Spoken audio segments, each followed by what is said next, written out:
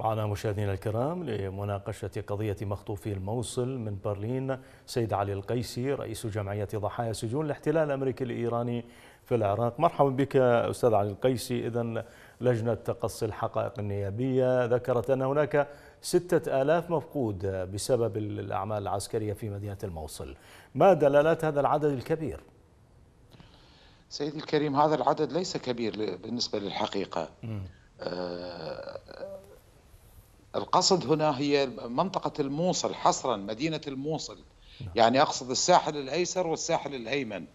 وهذا ما رشح من الأسماء فقط. آه، حقيقة ما يجري ما جرى في الموصل يجب أن نأخذه يعني بشكل أوسع. نحن نتحدث عن الموصل كمدينة مركز مدينة اللي يشمل آه، حسب ما قلت الساحل الأيمن والأيسر. والمناطق المحيطة بالموصل والقرى التابعة لها. هذا العدد إذا يعني حسب التواصل مع الأصدقاء ومع الجهات الأخرى والمنظمات الإنسانية هناك تأكيد على أن عدد من تم التبليغ عن فقدانهم يصل إلى حوالي 52 ألف.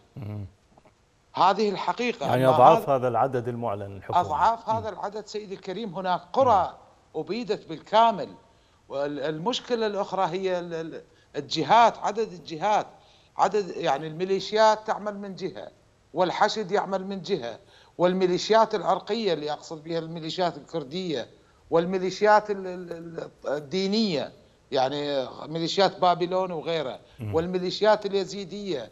يعني نحن نتحدث عن أكثر من 11 جهة, جهة إذا ما حسبنا لها ما يسمى بالشرطة وال والمكافحة الإرهاب وبقية المسميات الأخرى والتشكيلات الموجودة هناك. يعني حسب الإحصائية اللي عندنا 11 جهة. هذه هي أساس المشكلة.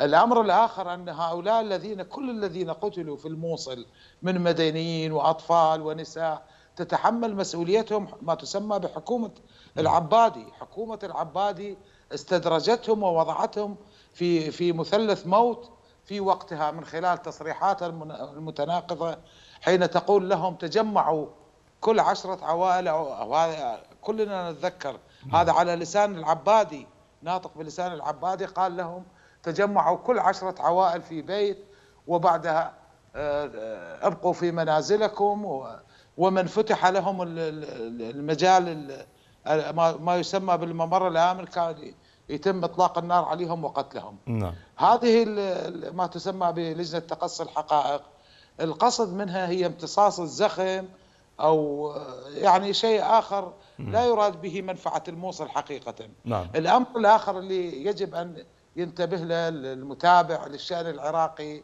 وهذا نحن نتحدث به مع المنظمات والجهات الدولية نعم. منذ العام 2003 لم تكن في يوم من الأيام ما تسمى بالحكومة الحكومات العراقية المتعاقبة جزء من الحل أو جزء من مساعدة المواطنين خصوصا في تلك المحافظات الموصل والأنبار وغيرها.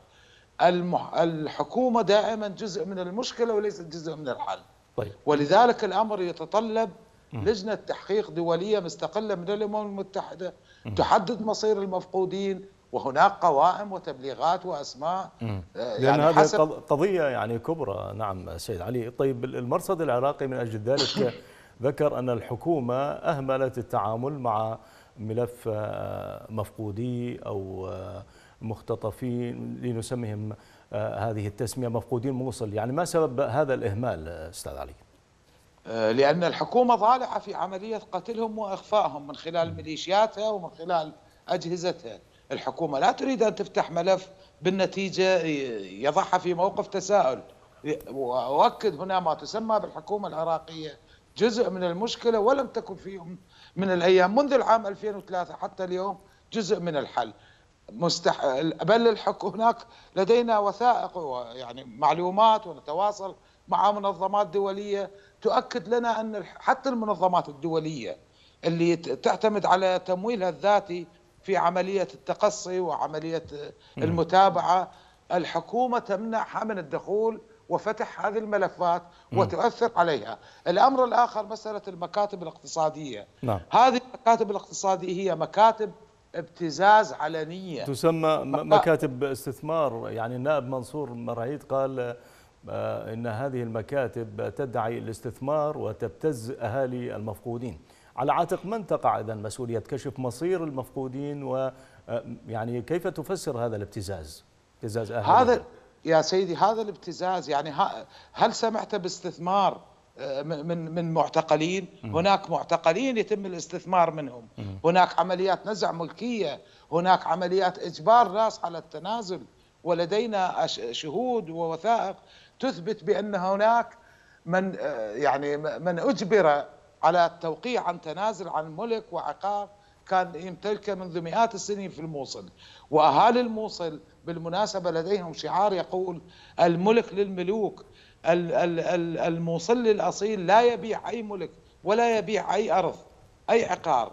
عمليه وجود هذه المكاتب هي حقيقة مكاتب عمليات لتقوم بعمليات ابتزاز وقتل واختطاف المواطنين والأمر الآخر انه كل إنسان الآن يرفع صوته ويتحدث آه، ضد هذا الوضع المزري اللي تعيشه هذه المدينة المنكوبة نعم. يتهم باليوم الثاني بأنه على صلة بتنظيم الدولة أو بجهات إرهابية ويصدر عليه أمر اعتقال أو أو يقتل أو يطارد. يعني في المحصلة وكالة اسوشيت بريس ذكرت آه، أن تعجيل استعادة الموصل أو حسم المعركة أسهم في قتل أعداد كبيرة من المدنيين. ما تفسيرك لهذه المعاملة لمدينة الموصل بهذا الطريقة سواء في أثناء الحرب أم بعدها؟ سيدي الكريم آه، عملية ما تسمى بعملية تحرير الموصل الكل أجمع في وقتها على أنه لا توجد استعدادات كافية يعني لتحرير المدينة إذا جاز التعبير هذا الكلام. آه، هم تقصدوا في هذا الظرف وفي هذا الوقت تقصدوا على دهم وقصف وتدمير الموصل وبدء العمليات العسكرية. ضدها حتى يوقعوا أكبر عدد من الخسائر في أهلها وفي بناها التحتية. نعم. لأنه هذا عمل مقصود وعمل ممنهج هو عملية تدمير ومسح المدن. وهذا ما شاهدناه في عد في في جرف الصخر نفس الحالة وفي مناطق أخرى من محافظة صلاح الدين وغيرها. شكرا جزيلا لك من برلين عبر سكايب أستاذ علي قيسي رئيس جمعية ضحايا سجون الاحتلال الأمريكي الإيراني في العراق.